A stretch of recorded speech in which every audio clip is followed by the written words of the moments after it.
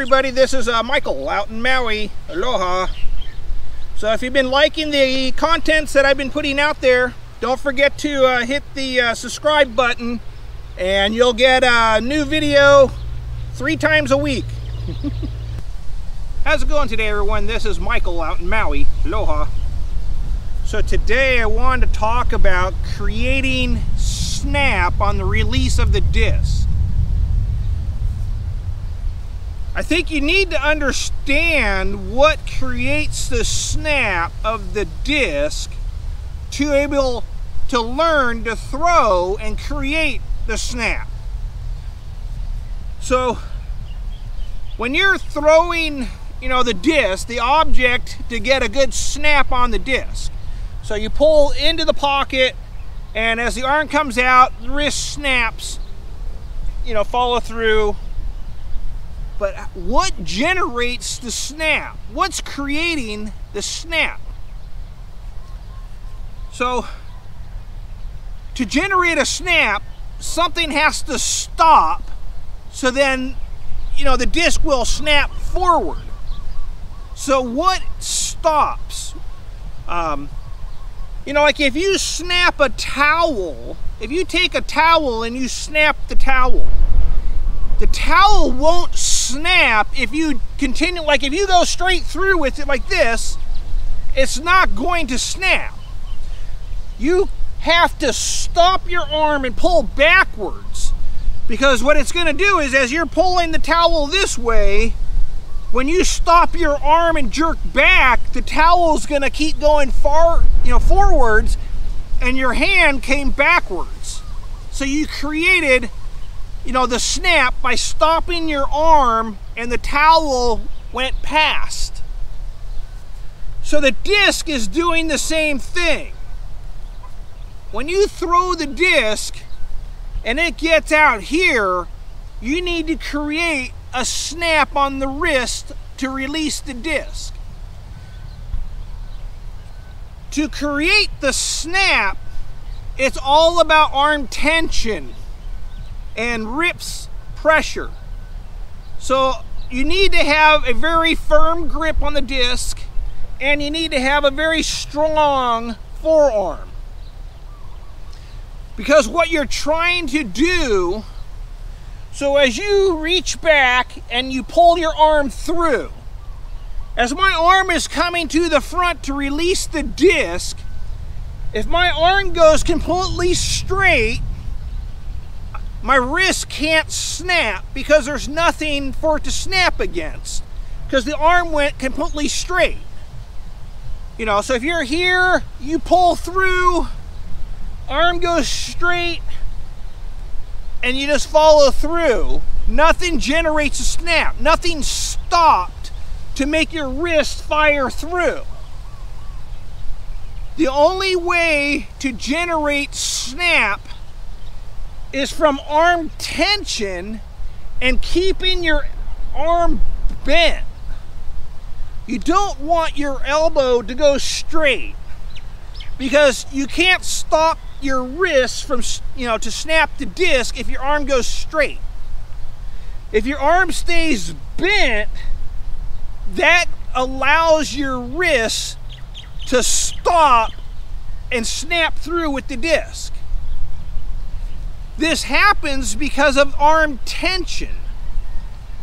So when I reach back, I have arm tension, grip pressure.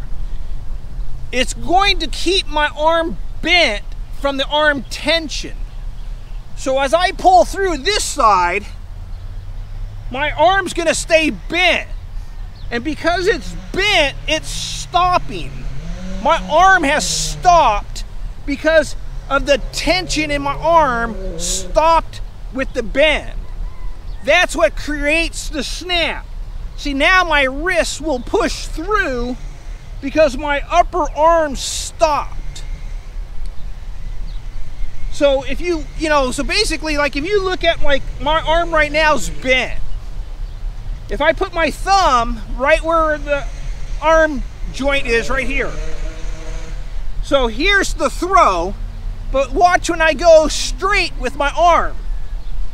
you can see it's now out here. It's moved two, you know, three inches farther forward. So with my arm bent, my arm is three inches shorter on the reach. So from that stopping three inches short, that's why your wrist snaps, because your arm stopped. Your arm can't stop if it's completely straight. If it's completely straight, there's nothing that makes your wrist fire through, you know, because it's completely straight.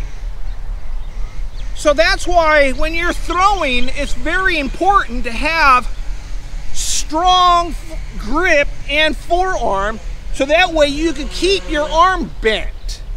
That bend in your arm will stop your arm from going straight and that last three inches will allow the wrist to snap.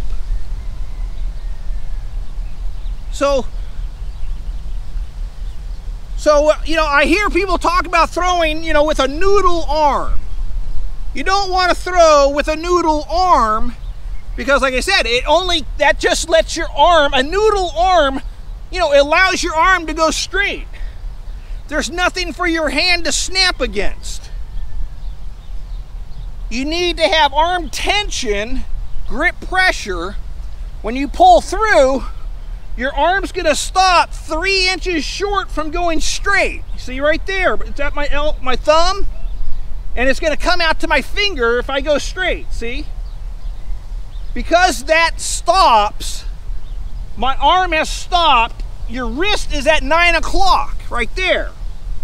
But because my arm stopped, it's now going to fire the disc out. And that's how the snap is created. Because your arm stops, the disc is at nine o'clock, and it pushes out.